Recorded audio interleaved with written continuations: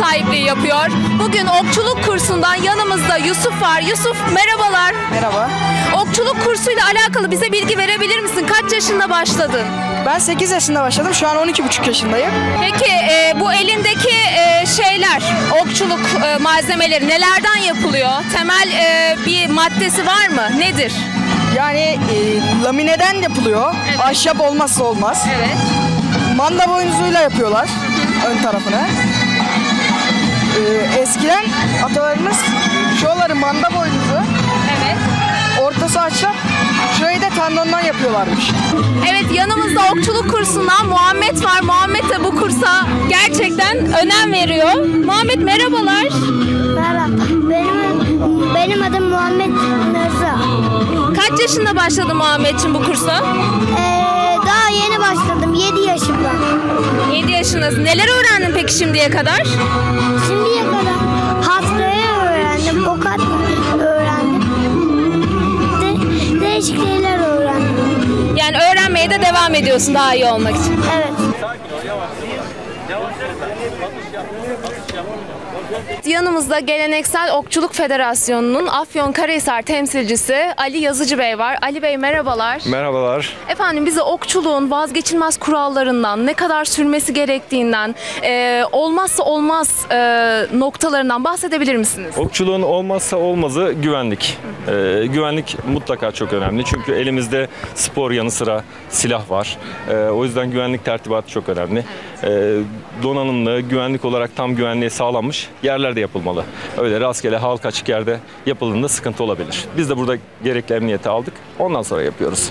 Devam ediyoruz. Efendim kurslar e, bir çocuk için, bir çocuk daha doğrusu e, kaç yaşında başlamalı bu kursa? Ee, aslında geleneksel okçuluk 5000 yıllık tarihi sürecinde gelen bir şey. Bizim çocukluktaki misket oyunlarımız mesela, o parmak tutuşları, e, bütün hepsi savaş oyunlarının taklididir. Çocuklarda mümkün olduğu kadar erken yaşta, işte kas gelişimi başladığında, ona uygun yayla başlandığında e, gayet verimli olur. Hem teknik iyi gelişim açısından hem de e, okçulukta daha iyi mertebeler kat etmesi için mümkün olduğu kadar erken başlanması gerekir diyorum. Efendim şunu da sormak istiyorum. E, o yayla atılıyor oklar. E, onların e, yapımında kullanılan malzemeler nelerdir? Ee, tam geleneksel yayın yapımı çok meşakkatli bir süreç. Ecdat bunu yaparken ee, bir yayın yapımı yaklaşık iki yıl sürmüş. Yayın ilk başta ee, işte keresteden biçilip bekletilme süreci, Nisan yağmurunda bekletilme süreci, 6 ay 6 aylık dönemlerde çok Neden uzun sürüyor. yağmurda bekletilmiş peki? Ee, Nisan yağmuru muhtemelen eskiden hani bu sanayi devriminden önce yağan yağmurun içerisinde mineral ya da e, atık madde olmadığı için saf suya yakın olduğu için ondan dolayı bekletilmiş. Yapıştırmasında gene e, Tuna Nehri'ndeki balığın tüplük bezlerinden tutkal yapılarak, boncuk tutkal yapılarak onlar kullanılmış. E, ondan sonra mandanın boynuzu kullanılmış. Aşil tendonu kullanılmış. Mesela halk arasında kepaze olmak denilen şey vardır. O mandanın aşil tendonun tek tek sıyrılmasıyla elde ediliyor. O da kullanılıyor. Yaya esneklik ve daha iyi atım gücü vermesi açısından e, bir sürü kompozit malzemenin bir araya gelmesiyle olan ve meşakkatli bir süreç. Şu anda tabii biraz daha seri olarak, biraz daha endüstri devriminin getirdiği kolaylıklarla e, lamine yaylar var, farklı yaylar var. E, daha hızlı bir şekilde üretiliyor yaylar. Efendim peki Afyonkarahisar'da okçuluk kursuna talepler ne durumda? Nasıl sizce? Talepler halkımız daha yeni yeni haberdar olmasına rağmen çok yoğun. Hem e, Gençlik Spor İl Müdürlüğü'ne bağlı Gençlik Merkezi'nde, Veysel Eroğlu Stadyumunda hem okullarda e, özellikle spor lisesi bu işte gerçekten duayen. O işin öncüsü adını anmadan geçemeyeceğim. Muhammed Doğan hocamız var. Afyon'da yaygınlaşması, işte Türkiye çapındaki yarışmalara gidilmede e, gayet büyük emekleri var.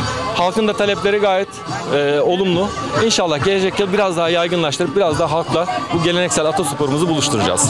Zafer Meydanı'nda düzenlenen Malazgirt'ten Kocatepe'ye etkinliklerinde iki güzel kız yanımda. İkisinin ismi de Elif. Sormak istiyorum onlara kaç yaşında başladınız okçuluk kursuna Elif'ciğim?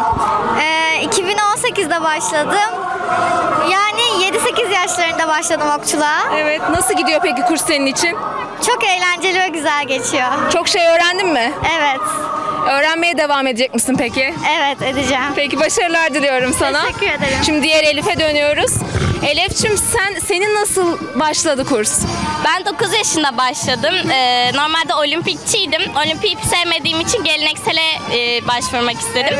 Ee, bu yüzden geleneksel yapıyorum. İşte bir yıl, iki yıldır bu iş alanla uğraşıyorum. Afyonkarahisar'da geleneksel Türk sporlarından biri olan okçuluk e, kursunu veren hocalarımızdan e, Sultan hocamız yanımızda. Sultan hocam merhabalar. Merhaba. Hocam e, bize okçuluk kursundan bahsedebilir misiniz? Afyonkarahisar'da nasıl ilerliyor? Neler e, oldu şimdiye kadar kurulduğundan bu yana? Ee, ben 8 yıldır okçulukla uğraşıyorum. İlk başta olimpik yayla başladım. Sonra geleneksele başladım. Şu an e, federasyonumuz yeni kuruldu 2019 yılında. Aktif olarak bütün yarışmalara gidiyoruz Afyonkarahisar ekibi olarak. Spor lisesinde başladık biz bu işe. Okçuluk kurslarıyla alakalı bilgiler verebilir misiniz? E, kaç yaşındaki çocuklar daha fazla ilgi gösteriyor? Şu an için e, aralıklı yaş e, grupları neler? Ee, öncelikle geleneksel okçuluğu e, öğrenmenin yaşı yok. E, Sadece 2 ila 7 yaş arasında temel eğitim dönemi dediğimiz çocuklarımızın gelişimini etkilemeyecek bu dönemi geçtikten sonra 8 ila e, ve 8 yaş üzerindeki her türlü e, kişiler bu geleneksel okçuluğu yapabilir.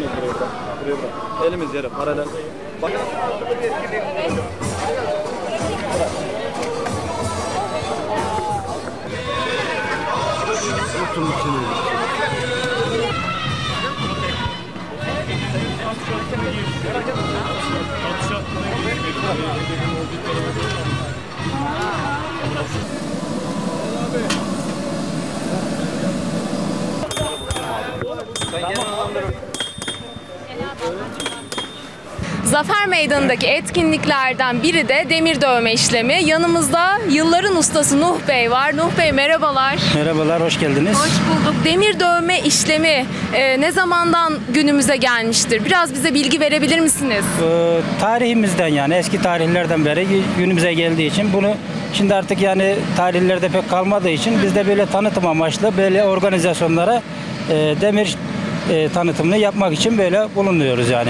Peki demir dövme işleminin bir püf noktası var mıdır Sayın yani Usta? püf noktası tabii ki illaki yani demir dövme işlemi e, kı- kızarmadan yani nar gibi kızarmadan Haydır Allah, haktır Allah, haydır Allah, haktır Allah. Subhanallah. Ebru Vahap Sanat Şirketler. Acizane.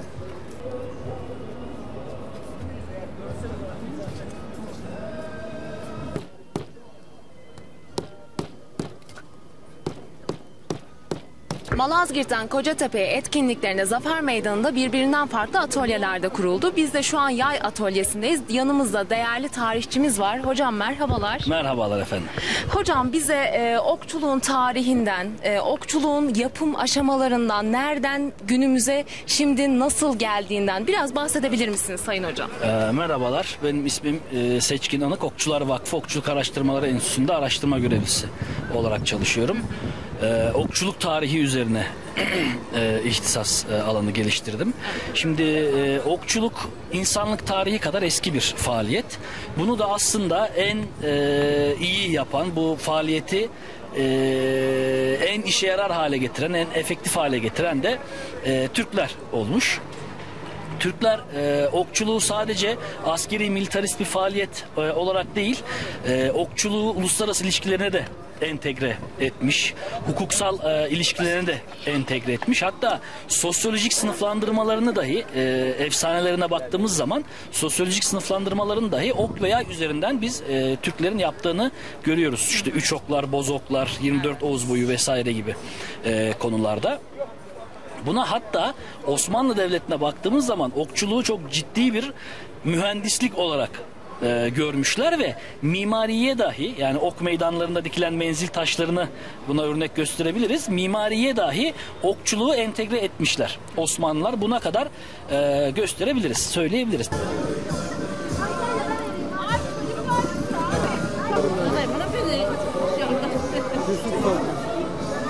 Değişeceğiz alacaksın. Aa senin memleket. Evet.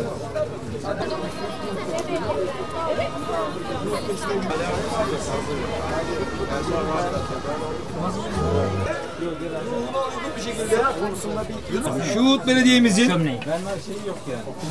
eee, projesi olan keşik otobüsüyle Şuhut Keşke Evi'nde yaptırılmış olan tescilli Şuhut keşiklerimizi Afyon halkımıza eee, Zafer Atısı'nın başlangıcında geleneksel okçuluk etkinliğimizde ik- halkımıza ikram ediyoruz. Tüm Afyon'umuz bugün seferber oldu. Tüm ilçelerimiz, beldelerimiz kendi imkanları ölçüsünde eee, etkinliğimize kat- katkı sundular. Şuhut Belediyesi de bu ürünle, keşkeğimizle eee, destek sağlamış oldu. Ben Şuhut Belediye Başkanımız Recep Bozkurt Bey'e teşekkür ediyorum. Hep beraber Afyon için aşkla çalışmaya devam ediyoruz. Afyon Afiyet olsun. Zafer Meydanı'ndan tüm Türkiye'mize selamlar, saygılar.